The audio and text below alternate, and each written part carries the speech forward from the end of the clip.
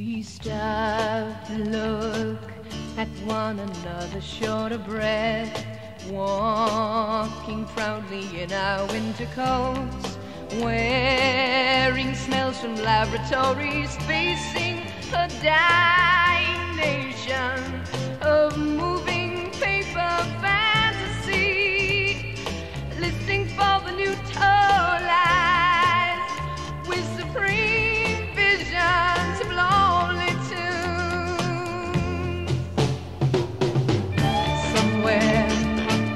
inside something. There is a rush of greatness and hope that stands in front